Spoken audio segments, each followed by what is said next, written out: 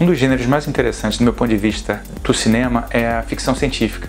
E falar de ficção científica pode ser uma forma de você aproximar o público da ciência. Muitas vezes o que aparece numa tela de cinema, num filme de ficção científica, parece muito fantasioso, mas há sempre maneiras de você falar sobre ciência ali. Então, por exemplo, falar sobre uh, longevidade, falar sobre uh, a cura de determinadas doenças, falar sobre transplante de órgãos, isso tudo de certa maneira está presente em filmes de ficção. E isso é uma forma de você poder entreter enquanto você ensina, enquanto você explica a própria evolução da ciência. Porque se a gente pensa hoje em dia o que a gente vive, né, onde a gente vive, como a gente vive, tudo isso dependeu de avanços científicos. E no momento atual é muito importante a gente poder conversar sobre ciência, discutir as perspectivas que a ciência nos proporciona, as nossas escolhas baseadas em ciência, para que a gente viva melhor e mais feliz.